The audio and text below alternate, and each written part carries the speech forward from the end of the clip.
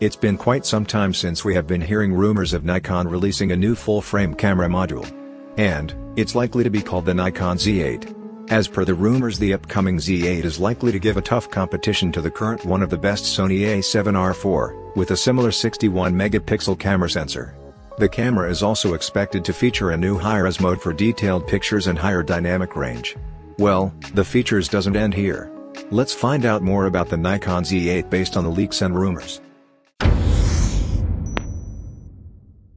First, let's talk about the sensor that Nikon might use for their upcoming camera. According to the digital camera world, Nikon is likely to use the same 35mm full-frame back illuminated CMOS sensor, same as the A7R4. And, this new Exmor R CMOS sensor packs a lot to make your pictures even more amazing. Being back illuminated, you are likely to get a higher sensitivity, lower noise, and the sharpest possible pictures, all in 61 megapixel. The new sensor will also ensure excellent night shots, no matter what the lighting condition is. So, for those who love taking shots of sunset or night times, the Nikon Z8 will be a great option for them. Nevertheless, the improvements will not only be the 61 megapixel sensor, the ISO range and stabilization is also likely to be an upgrade for this Nikon flagship. For the ISO range, the Nikon Z8 is rumored to have an ISO range from 64 to 25600, which can be pushed to 32 to 102400. Huge, right? So, you will have plenty of options to choose your suitable ISO range.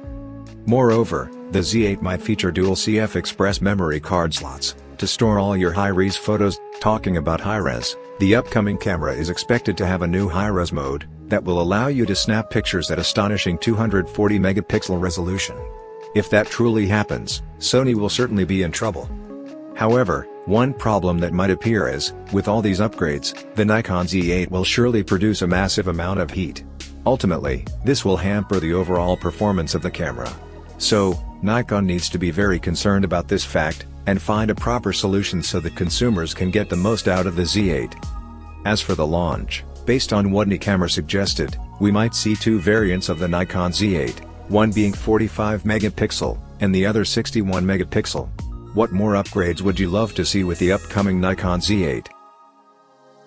Throw all your thoughts in the comments, give this video a thumbs up, and subscribe to our channel to keep yourself updated with all the latest tech news.